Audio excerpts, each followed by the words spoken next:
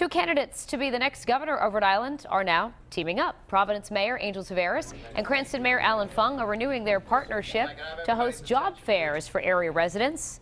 They announced their expanded partnership in Providence this morning. Last year, the mayors jointly hosted 11 job fairs attended by more than 1,700 residents and 265 local businesses.